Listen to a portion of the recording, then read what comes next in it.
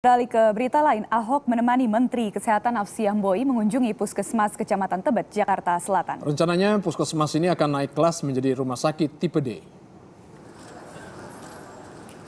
Ya, selasa pagi PLT Gubernur DKI Jakarta Basuki Cahayapurnama menemani Menteri Kesehatan RI Nafsiah Boy. Keduanya melaksana, melaksanakan kunjungan kerja ke Puskesmas Kecamatan Tebet, Jakarta Selatan. Nafsiah dan Ahok berkeliling meninjau fasilitas puskesmas, di antaranya ke poli gigi dan ruang rawat inap. Puskesmas Kecamatan Tebet ini rencananya akan ditingkatkan menjadi rumah sakit tipe D pada Juni 2014. Fasilitas klinik ini tergolong lengkap. Untuk rawat inap sejauh ini ada sekitar 12 tempat tidur dan 3 kamar.